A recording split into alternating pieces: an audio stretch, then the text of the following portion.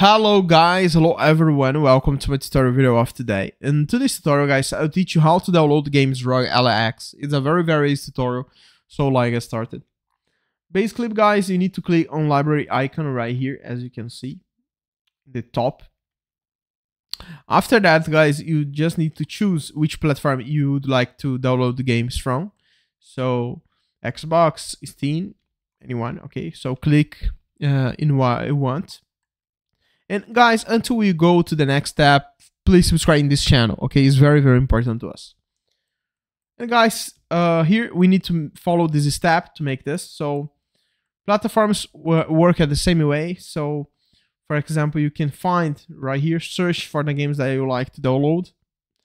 Uh, are the same for the platform. So Steam, EA, what you want, just search. Okay and click in install and your game will be downloaded. And now you basically uh, play all the games that you want. Okay, it's basically that. I hope I helped you in this tutorial guys and of course if you like this video please subscribe my channel and press the like button. Bye bye my friends.